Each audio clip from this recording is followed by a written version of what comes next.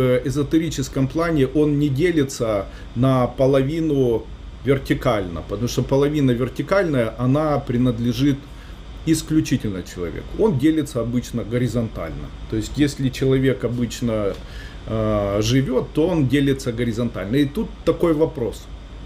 Женщина хочет половину себя. Тогда какой горизонтальной половине она относится? К верхней, которой соответствует ее живот, грудь и голова. Или к нижней, которой соответствуют ноги и половые органы.